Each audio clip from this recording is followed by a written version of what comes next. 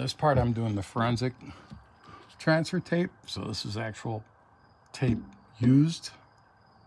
Crime scenes for lifting prints. And I've already dusted it with the biochromatic. I didn't catch the bottom of it. Oh, it's so hard to try to get everything perfect. But uh,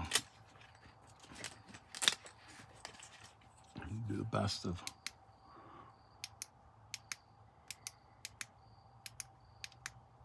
lifting this.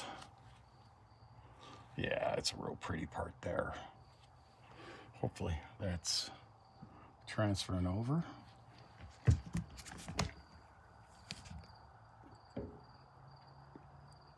Mm, this is my favorite part.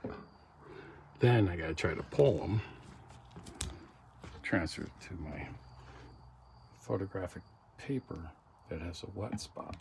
Ruh-roh.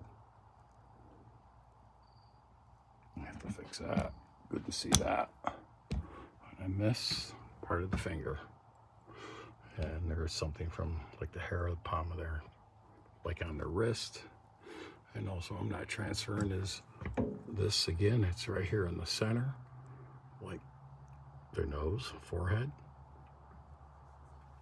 Again, repeatedly off the same window.